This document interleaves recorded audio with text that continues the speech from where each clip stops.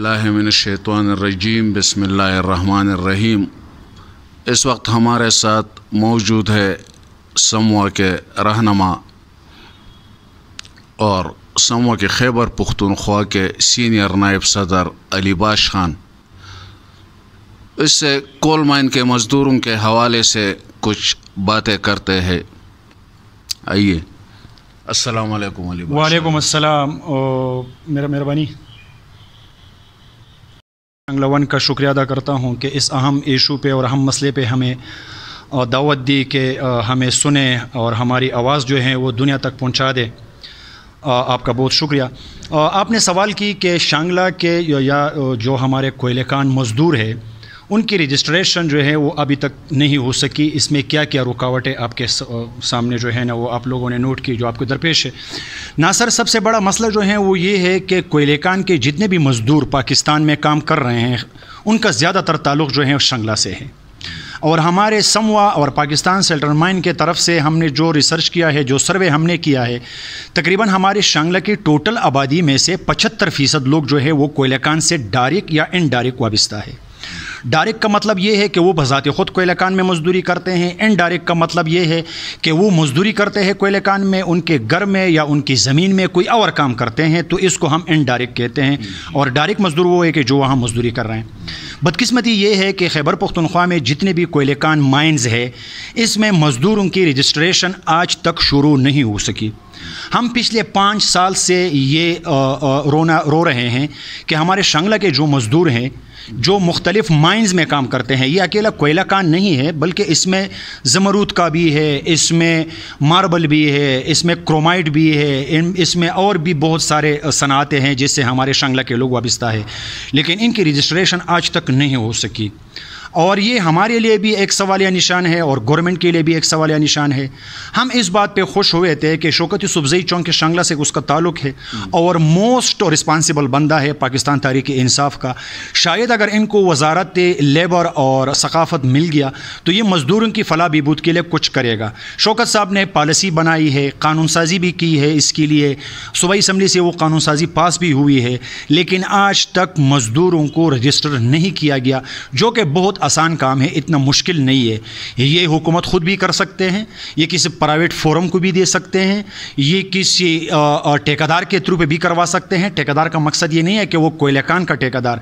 इसका ठेकेदार का मकसद हमारा ये है कि जो सर्वे करते हैं ऑर्गेनाइजेशन उनसे ये रजिस्ट्रेशन करवाए। ये इतना मुश्किल काम नहीं है। जब तक हमारे मज़दूर रजिस्टर नहीं है तो ना सर हम इसके लिए कुछ नहीं कर सकते। क्योंकि आप प्रॉपर तरीके के मज़दूर नहीं है। और इस मल लिबाश खान आपकी बात को इंटरप्ट कर रहा हूँ? ये रुकावट कौन है? ये मसला क्या है? हो क्यों नहीं रहा? इसमें सबसे बड़ा जो रुकावट है वो माइंस मालिक है। जो ऑनर है, जो ऑनरशिप जिसको मिली है, जिसके नाम पे लीज हुआ है, एक रुकावट तो वो है। दूसरा जो सबसे बड़ा रुकावट है, जिसके सामने मेरे नज़र में बहुत सारे लोग जो है ना बेबस है, वो ठेकेदारी सिस्टम है। कि ठेकेदार के सामने ये हम सारे बेबस है। क्योंकि ठेकेदार का अप्रोच इतना होते हैं कि वो नहीं चाहते हैं कि मेरा मज़दूर रजिस्टर हो जाए। जब इनका मज़दूर रजिस्टर हो जाएँगे तो फिर उन मज़दूरों की ज़िम्मेदारी जो है, वो ठेकेदार के ऊपर आएगी। अब जब ठेकेदार के ऊपर इसकी ज़िम्मेदारी आएगी तो वो नहीं चाहते हैं। माइन मालिक नहीं चाहते हैं। इस माइन में और भी बहुत सारे लोग हैं जो नहीं चाहते हैं। और ये हुकूमत को करना है। क्योंकि हम शांगला के अवाम शौकत सूबे से शांगलावन की तवसत से पुरजुर मुतालबा करते हैं कि मज़दूरों को जल्द से जल्द रजिस्टर किया जाए। अलीबाश खान दीगर सूबों में मादनियात के हवाले से मज़दूरों को काफ़ी सहूलियात और तहफ़ात हासिल है। शांगला की मज़दूरों को क्यों नहीं? और शांगला हम इसलिए कहेंगे, हम तो कि के पी के मज़दूर कहना चाहिए था। क्योंकि अस्सी फ़ीसद मज़दूर शांगला के काम कर रहे हैं कोलकानों में। तो उनको बराबरी के हकूक़ पर हकूक़ क्यों नहीं मिलते? नासर, आपने बहुत ज़बरदस्त सवाल किया। शांगला के पचहत्तर फ़ीसद लोग जो है, वो कोयलाकान से वाबस्ता हैं। ये नहीं है कि वो सिर्फ़ कोयलाकान में है। पचहत्तर के अलावा जो लोग हैं, वो कराची में काम कर रहे हैं।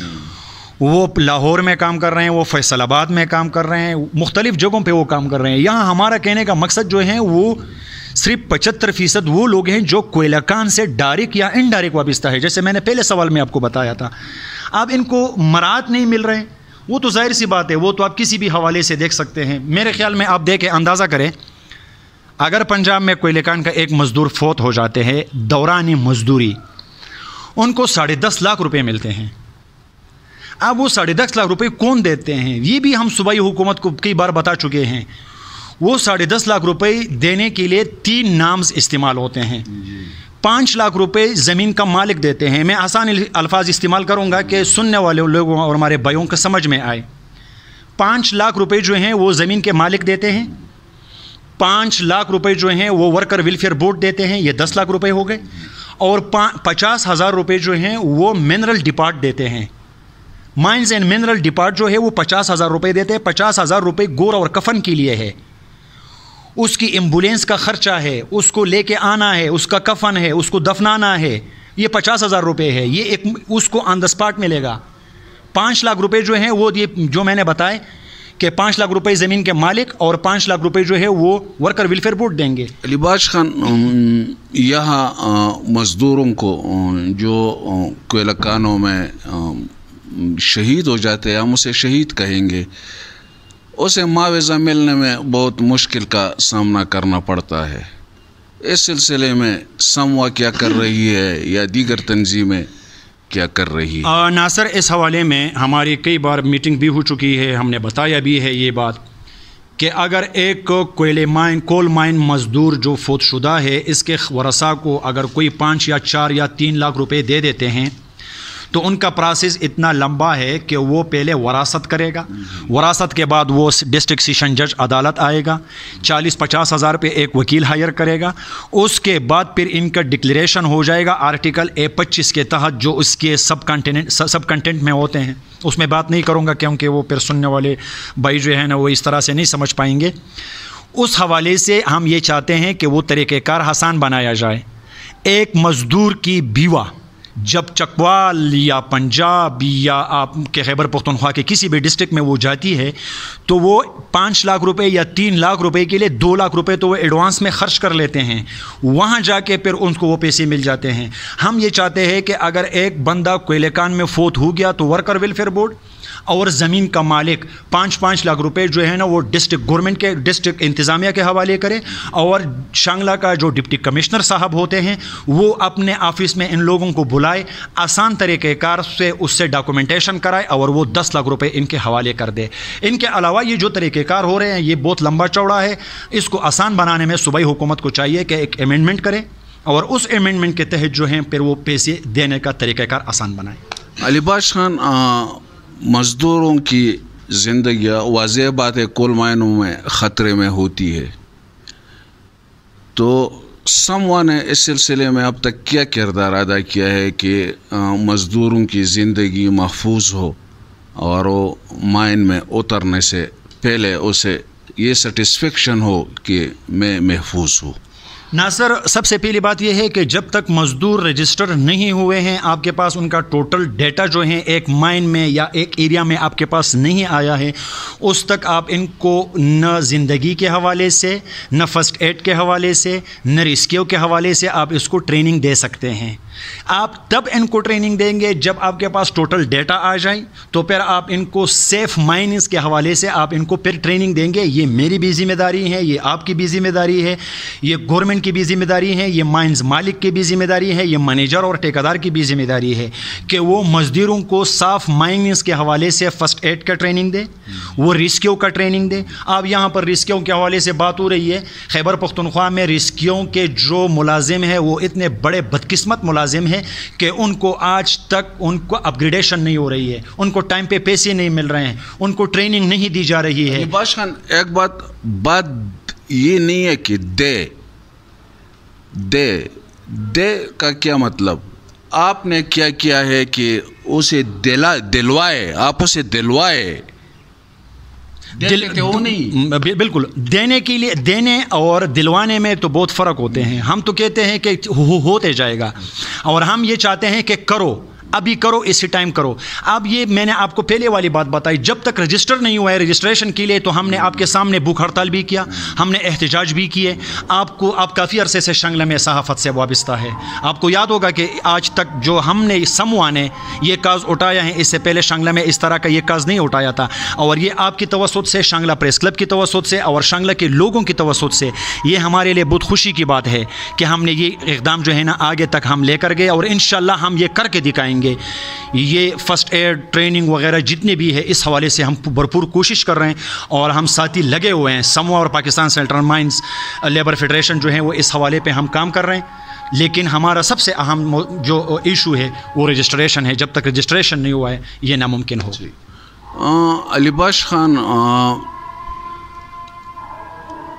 कोल माइन की में मरने वालों की लवाहिकीन की जो ज़िंदगी है जो ज़िंदगी वो गुजार रहे हैं इस हवाले से आप क्या कहेंगे और इस सिलसिले में आप क्या इकदाम उठाएँगे इसके लिए हमारा डिमांड सूबाई हुकूमत से ये है कि जो मज़दूर कोयलेकान में शहीद होते हैं उनकी लवाहिकीन के लिए बाकायदा तौर पर उसी तरीके से तरीक़ार किया जाए जो बाकी मज़दूरों के लिए हो रहे हैं जैसे स्कूल के जो जो हमारे तालीमी इदारे हैं या हमारे और जो महकमे हैं जिसमें मुलाजिमीन काम करते हैं, दौरान मुलाजिमत वो फोत हो जाते हैं तो उनको बाकायदा तौर पर पैसे मिलते हैं। उसके रिटायरमेंट के बाद उनको पैसे मिलते हैं, उनके ख़ानदान को पैसे मिलते हैं, उनकी बीवी के नाम पे पैसे ट्रांसफ़र हो जाते हैं। हमारा ये मुतालबा है कि जिस अंदाज से कोयलेकान शहीदों के बच्चे और बीवा और उनके लाचार और गरीब माँ बाप जिस तरीके से ज़िंदगी गुजार रहे हैं, वो माइन जिसने अपने हाथों से बनाया है, जिससे वो सोना निकाल रहे हैं हैं, उससे और लोग तो मज़े उठा रहे हैं। लेकिन उनके घर में जो माँ बाप गरीब और बच्चे हैं, उसके बैठे हुए हैं, उनको कुछ नहीं मिल रहे हैं। हमारी हुकूमत से ये पुरजोर मुतालबा है कि रजिस्ट्रेशन के बाद बाकायदा तौर पर इन मज़दूरों को मज़दूर तस्लीम किया जाए और उनका ये हक़ माना जाए कि अगर वो दौरानी मज़दूरी फोत हो जाए तो उनके घर वालों को हमने शौकत यूसुफजई साहब को के साथ जब हमारी इस्लामाबाद में मीटिंग हुई थी तो हमने ये डिमांड पेश किया था कि इनके घर वालों को बारह हज़ार रुपये पर मंथ, ये माइंस का जो मालिक है, जो माइंस से निकालते हैं, उनको पैसे मिले। कि वो अपने अखराज इससे पूरा करें। फिर हमने इस हवाले से एक और भी बात बताई थी कि आप एक कोटा मुकर करें। आपके बेतुलमाल हैं, आपका ज़क़़त हैं, आपका बेनज़ीर इनकम सपोर्ट प्रोग्राम है, आपका सेहत इंसाफ कार्ड है। इसमें बाकायदा तौर पर आप हमारे साथ शेयर करें कि हम कोयले कान के इतने मज़दूरों को इसमें शामिल करेंगे। फिर हमने हुकूमत को ये भी बात बताई थी और नॉन गवर्नमेंट ऑर्गेनाइजेशन को भी भी हमने बात बताई थी और काफ़ी हमारे इस बात पर वो एग्री भी हो रहे हैं कि वो कोयले कान मज़दूरों को जो शहीद हुए हैं, उनके लिए वाइकिन को बाकायदा तौर पर पैसे दे देते हैं। अभी रिसेंटली हमारी एक स्टोरी डॉन न्यूज़ में लगी थी यूनियन कौंसिल पीराबाद और विलेज कौंसिल लिए की। वहाँ से कराची से, लाहौर से जो अच्छे खासे समझ सोशल लोग हैं, जिसने वो अखबार का इंटरव्यू अखबार में पढ़ी और उससे वो समझ गए तो बहुत सारे लोगों को ना सर हम नाम तो नहीं बता सकते हैं, लेकिन बहुत सारे लोगों को वहाँ से माली सपोर्ट जो हैं, वो डायरेक्ट मिल रहे हैं। इसमें हमारा समवा का कोई किरदार नहीं है कि वो पैसे हमारे पास आ जाए, फिर हम जाके पैसे दें। हमारा सिर्फ़ ये काम है कि हम सर्वे करते हैं। सर्वे के बाद वो नाम हम नासर को आगे कर लेते हैं। नासर साहब जो हैं, वो आगे नाम लोगों को दे देते हैं और वहाँ से इनके नाम पर पैसे आ जाते हैं। बहुत शुक्रिया अलीबाश खान। ये थे समूह के सूबाई सीनियर नायब सदर अलीबाश खान। जिसकी खदमात मज़दूरों के लिए किसी से पोशीदा नहीं। आइंदा भी उनसे इस सिलसिले में बातें होते रहेंगी। और हमारे चैनल को सब्सक्राइब करें, लाइक करें, शेयर करें, ताकि आप शांगला के ताज़ा तरीन सूरत हाल से वक्त ब वक्त बाखबर हो। अब कैमरा टीम के साथ नासिर महमूद नासिर को इजाज़त दीजिए अल्लाह हाफिज़।